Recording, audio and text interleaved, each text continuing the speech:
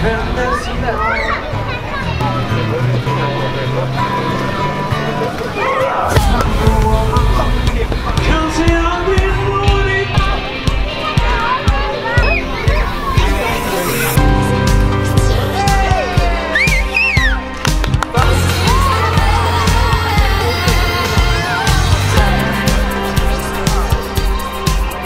med tummen och pekfingret. In med tummen och pekfingret.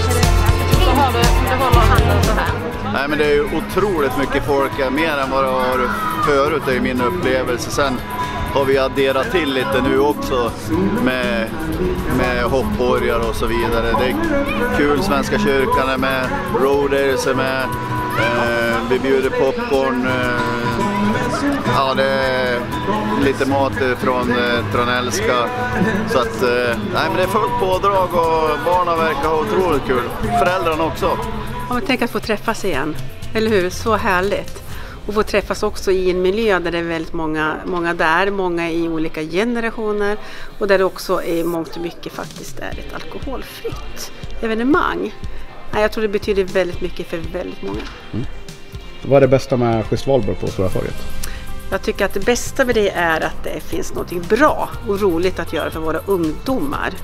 Och sen vet vi att vi i skobandet är så duktiga på och schysst framtid på att ordna aktiviteter och gör det med ett stort hjärta och det gillar vi på Vaffa Miljö.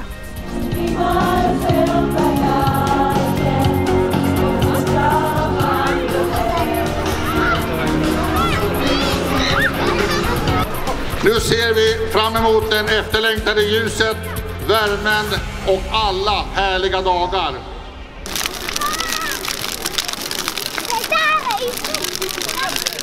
我实在的